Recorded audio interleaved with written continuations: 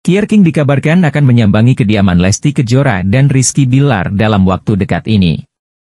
Selain untuk bersilaturahmi, jebolan di Akademi Asia 6 Indosiar tersebut, dengan lugunya mengatakan bahwa ia juga rindu dengan Lesti Kejora, yang telah ia anggap seperti kakaknya. Dalam penuturannya, Kier King mengatakan niat itu sudah cukup lama ia niatkan, namun karena banyak kesibukan saat masih menjadi peserta di Akademi Asia, terpaksa hal tersebut ia urungkan. Dalam kesempatan yang sama, peserta asal Filipina tersebut juga menambahkan, dirinya ingin belajar banyak dari Lesti Kejora terkait dengan dunia permusikan dangdut. Hal ini pertama kali diketahui lewat salah satu unggahan video di akun TikTok yang bernama Chang Panah. Sontak saja, unggahan tersebut seketika langsung dibanjiri dengan beragam komentar dari banyak netizen tanah air.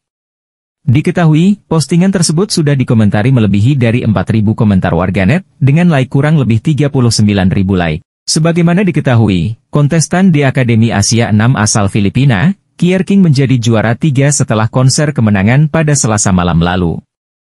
Kier King berhasil melewati tantangan demi tantangan untuk menyisihkan peserta lain hingga ia berada di babak akhir bersama Lovely dan Melili. Pada malam terakhir di Akademi Asia 6 tersebut, Kier King berduet bersama Rosa membawakan lagu, Kamu Yang Kutunggu.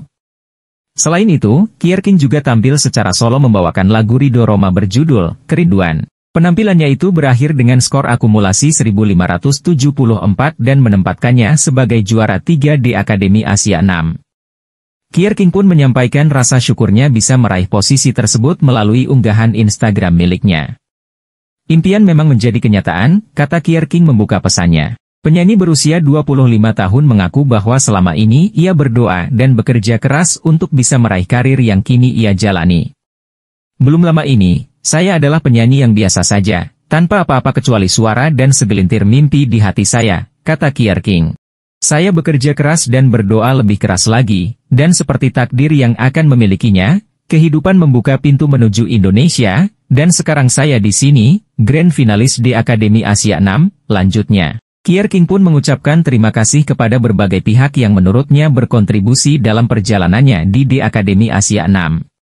Saya dipenuhi dengan ucapan syukur kepada Tuhan karena memberkati saya dengan tonggak dan perjalanan yang luar biasa ini, ungkap Kier King. Saya ingin berterima kasih pada keluarga, teman-teman, manajemen dan tim saya untuk dukungan yang tanpa lelah serta kepercayaannya terhadap kemampuan saya sebagai artis dan manusia, sambung Kier King. Selain itu, Kier King juga berterima kasih kepada pihak Indosiar yang telah memberikannya kesempatan berharga tersebut.